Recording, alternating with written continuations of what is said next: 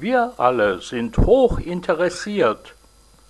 Wer hat den Flohwalzer komponiert?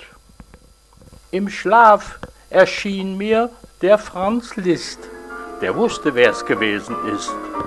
Erzählt im Traum mir die Geschichte, die ich nun fröhlich euch berichte.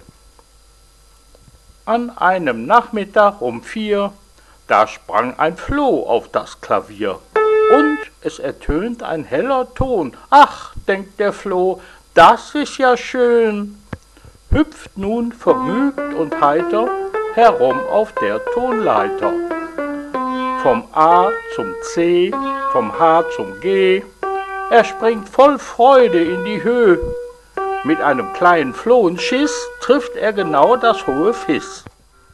Die Leiter hüpft er rauf und runter, springt mal daneben auch mitunter. Doch dann ertönt ein falscher Ton. Naja, das hat er dann davon. Flohwalzer wird das Stück genannt. Bekannt, beliebt im ganzen Land.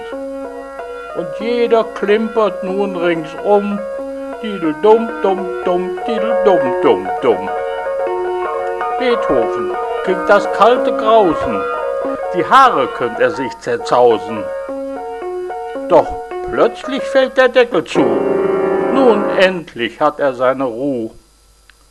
Den kleinen Floh, den hat's erschlagen. Es kostete ihn Kopf und Kragen.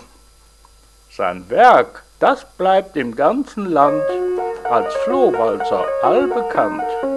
Er freut die Leute immer zu, bis wieder fällt der Deckel zu.